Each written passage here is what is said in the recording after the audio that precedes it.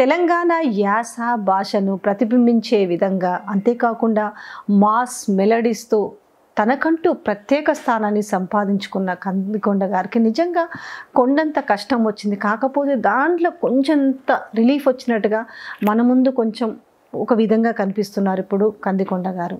అసలు throat cancer వచ్చిన తర్వాత కంప్లీట్గా చాలా సివియర్ పొజిషన్కి వెళ్ళి మళ్ళీ తిరిగి వచ్చినందుకు నిజంగా చాలా ఆనందంగా ఉంది. ఇంకా త్వరగా కోలుకోవాలని చాలామంది తన అభిమానులు కావచ్చు యావత్ తెలంగాణ ప్రజలు కూడా కోరుకుంటున్నారు. సో ఇప్పుడు తన పరిస్థితి ఎలా ఉంది? ఇంకెప్పటికీ కంప్లీట్గా రికవర్ అవుతారనే విషయాన్ని మన ముందు కందికొండ గారు ఉన్నారు అలాగే తన వైఫ్ ఉన్నారు. వాళ్ళని అడిగి తెలుసుకుందాం. సార్ నాకు తెలిసి మాట్లాడలేరేమో ఇప్పుడిప్పుడే రికవర్ అవుతున్నారు. సో దానికి సంబంధించిన విషయాలన్నీ కూడా వాళ్ళ భార్యని అడిగి తెలుసుకుందాం. సార్ నమస్తే సార్.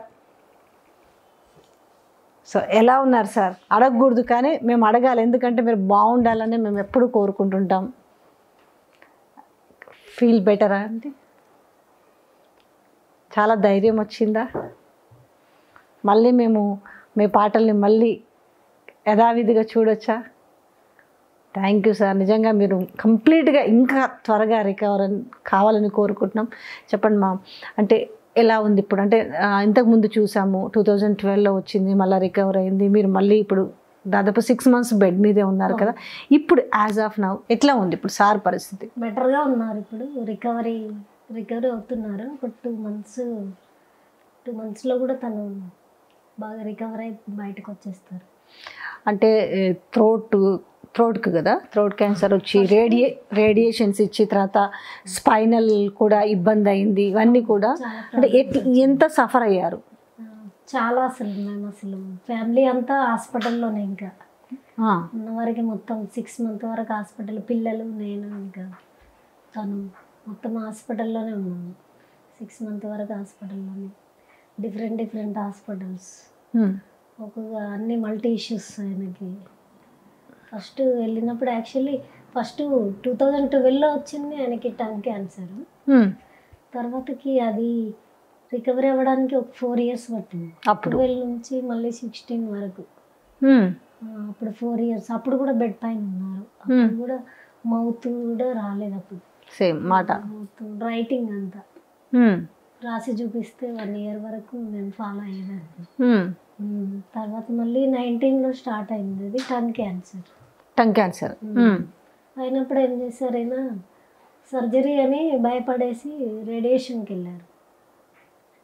రేడియేషన్కి వెళ్ళినప్పుడు ఫస్ట్ స్టేజే కదా స్కాన్ చేస్తుంది అక్కడ ఇంకా ఏమో ప్రాబ్లం ఉండవని చెప్పారు డాక్టర్స్.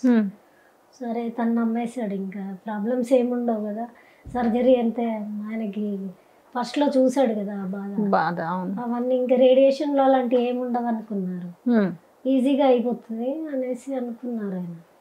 కానీ అన్ని సైడ్ ఎఫెక్ట్స్ రేడియేషన్ అయిన టూ వీక్స్లోనే స్టార్ట్ అయినాయి. మంచి హ్యాండ్సమ్గా ఉండే మనిషి. మొత్తం టూ వీక్స్ నుంచి వాయిస్ పోయింది. మొత్తం ఇంకేం వస్తలేదు మాట కూడా ఫుడ్ తీసుకోవడం లేదు. థర్టీ టూ సిట్టింగ్స్ అయినాయి రేడియేషన్ టోమోథెరపీ ఆ రేడియేషన్ కాకుండా ఫస్ట్ టైం ఒకవేళ సర్జరీకి వెళ్ళుంటే ఇంత పరిస్థితి ఉండేదా? అసలు లేదు.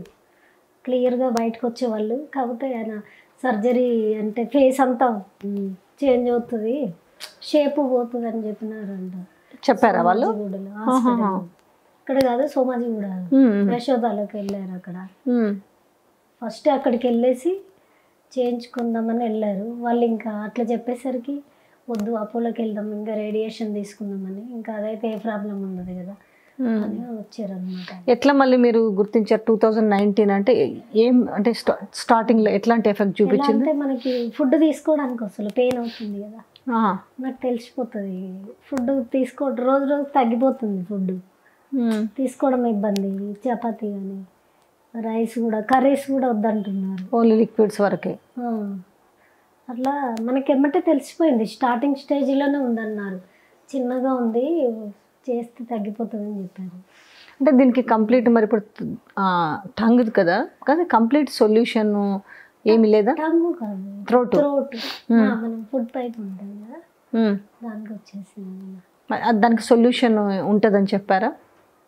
కంపల్సరీ మన లక్ అట్లా ఏం చెప్పలే. తగ్గిపోతుందనే చేయించుకుంటాం కదా మనం. జనరల్గా అంతేలే చెప్పడం. క్యాన్సర్ రేడియేషన్ అంటే నమ్మేస్తాం కదా. అందులో టోమోథెరపీ ఇప్పుడు అందరు చేయించుకుంటున్నారు. సో అంటే ఇప్పుడు పరిస్థితి ఎట్లా ఉందంటే ఇంకా కంప్లీట్ రికవర్ అవుతుంది అని చెప్పేసారా ఇంకెంత కాలం పడుతుంది? మళ్ళీ తను ఎప్పటిలాగా మామూలుగా మళ్ళీ పాటలు రాసుకోవడానికి కానీ అంటే తను సిచ్యువేషన్ కూడా బాగాలేనప్పుడు హెల్త్ కండిషన్ బాగాలేనప్పుడు కూడా పాట రాసిండు. ఎందుకు ఆ సిచ్యువేషన్ ఎందుకు వచ్చింది అప్పుడు? బెడ్ మీద ఉన్నప్పుడు పాట రాసే పరిస్థితి? అంటే మాకు స్పైనల్ ఇప్పటికే మేము హాస్పిటల్ తిరగబట్టి టూ ఇయర్స్ అవుతుంది కదా. ఫైనాన్షియల్గా మేము అప్పటికే అయిపోయినాము. అప్పటికే నిల్ అయిపోయింది మా దగ్గర అమౌంట్ కూడా లేకుండే. ఇంకా మేము ఏం చేయడానికి లేదు. అప్పుడు టూ ఇయర్స్ నుంచి టూ మంత్స్కి ఒకసారి follow up CT scan PET scan radiation అన్నీ చేస్తున్నారైనా అప్పటికే మాకు వెళ్ళినప్పుడల్లా ఒక ఎయిటీ థౌజండ్ అవుతుంది స్కానింగ్లకి. మెడిసిన్ మళ్ళీ మంత్లీ. ఇప్పటికీ మనకి ఒక ఐదారు హాస్పిటల్ తిరిగారు ఇక్కడ పెద్ద hospitals. Banjara Hills advance clinic Somajiguda Yashoda Apollo Motinagar ఇక్కడ. ఇంకా ఎక్కడ బాగుంటుందంటే అన్ని హాస్పిటల్ తిరుగుతూనే ఉన్నాము. ఎక్కడ తగ్గడం అనేది లేదు. ఇంకా లాస్ట్ డిసిజన్ తీసుకుని అక్కడ చేయించుకొని బయటకు వద్దామని వెళ్ళారు. వాళ్ళు చేసిన ప్రాబ్లంకి ఆయనకి స్పైనల్గా డ్యామేజ్ అయింది. ఇప్పుడు ఎలా ఉంది. ఇప్పుడు ఆ స్పైనల్ ప్రాబ్లం రికవర్ అవుతుందా? ప్రాబ్లం వల్ల మేము ఏం చేసాము కిమ్స్కి వెళ్ళాము అపోలో వాళ్ళు ట్రీట్మెంట్ చేశారు. వన్ ఇయర్ నేను అప్పటికే వన్ ఇయర్ వెయిట్ చేశాను. తగ్గుతుంది మౌత్ వస్తుంది ఫుడ్ తీసుకుంటారు మెల్లమెల్లగా అని చెప్పారు వాళ్ళు. టైం పడుతుంది ఏమో లే కావచ్చేమో. సైడ్ ఎఫెక్ట్స్ ఉంటాయి కదా అని చూసి లాస్ట్లో ఇంకా బ్రెయిన్లో పెయిన్ రావటం మొదలైంది. ఈయనకి తట్టుకోలేకపోతున్నారు. చాలా పెయిన్ అవుతుంది అన్ని. మళ్ళీ వాళ్ళనే అడగాలి మనకి రేడియేషన్ చేశారు కదా. మళ్ళీ మీ వల్లనే కదా ఇలా అయింది. ఏంటి ప్రాబ్లం చెప్పండి అంటే ఒక డాక్టర్కి కాల్ చేసి advance clinic Banjara Hills road number um, అక్కడికి పంపించారు. అక్కడికి వెళ్తే ఆయన చెప్పాడు మీరు రేడియేషన్ చేయించారు కదా దానివల్ల spinal cord అరిగిపోయినాయి bones. C one C two C three. Three bones అరిగిపోయాయి. ఇప్పుడైతే నేను ఇంజెక్షన్ చేస్తున్నాను దానికి ట్వంటీ ఫైవ్ థౌజండ్ పే చేశాను. Only one injection. One injection. చేశాడు. అది చేశాక ఒక త్రీ డేసే ఉంది. మళ్ళీ పెయిన్ స్టార్ట్ అయింది మళ్ళీ వెళ్ళి డాక్టర్ దగ్గర మేము వెళ్తే ఇంకా చాలా పెయిన్ వచ్చింది ఇంటికి రాగానే వస్తే మళ్ళీ అపోలోకి వెళ్ళాము వెళ్తే ఎమర్జెన్సీలో పెట్టారు. పెట్టేసి ట్రీట్మెంట్ ఇచ్చారు ఆయనకి. అయినా తగ్గట్లేదు. మళ్ళీ డాక్టర్ని వెళ్ళి అడిగితే ఏమంటాడు? ఆయనకి ఇంకేం పోలే క్యాన్సర్ రేడియేషన్ చేసాం కానీ క్యాన్సర్ ఏం పోలేదు. ఏమున్నాయో తెలీదు. ఆయన నేను ఇంటికి తీసుకెళ్ళండి అని చెప్పాడు. మరి మీరు చేశారు కదా ట్రీట్మెంట్ మీరే చూడాలి కదా అంటే పేషెంట్ ఫస్ట్లోనేమో తగ్గిందని చెప్పాడు టూ త్రీ టైమ్స్. ఇంకా ఈయన సీరియస్ అయ్యేసరికి తగ్గలేక ఆయనకి మళ్ళీ వచ్చింది క్యాన్సర్ మళ్ళీ ఉంది అని చెప్తున్నాడు ఆయన. మీరు కరెక్ట్ చెప్పండి అని నేను ఇంకా అప్పుడే ఐసీలో కూడా పెట్టారు టూ డేస్ అక్కడ. పెడితే ఇంకా వద్దు వాళ్ళు వాళ్ళ దగ్గర మా దగ్గర ట్రీట్మెంట్ కూడా ఏం లేదని చెప్పాడు. తనకు రేడియేషన్ ఇచ్చిన డాక్టర్ ఎవరైతే ఉన్నారో పంపించినారా ఇంకా ట్రీట్మెంట్ ఉండదు. ఇంటికి వెళ్ళండి పేషెంట్ని మాత్రం హాస్పిటల్ తీసుకురావద్దని చెప్పాడు. ఎందుకు అట్లా మీరు వచ్చి మెడిసిన్ తీసుకోండి ఆయన తీసుకురావద్దని చెప్పాడు. అలాంటప్పుడు మీరు పేషెంట్ని వద్దంటున్నారు కదా ముందు డిశ్చార్జ్ చేయండి ఐసీయూ నుంచి. మేము ఇంటికి వెళ్ళిపోతామని చెప్పగానే అప్పుడు నైట్ ట్వెల్వ్ అయింది అందరు వెళ్ళిపోయినారు అప్పుడు డిశ్చార్జ్ చేయించుకొని ఇంటికి వచ్చాను Hi, this is Navdeep, and please subscribe to Mirror TV. Thank you. Hi everyone, please subscribe to Mirrors. Uh, hi guys, please subscribe Mirror TV. Hi, this is Pradeep Machraju. Please subscribe to Mirror TV.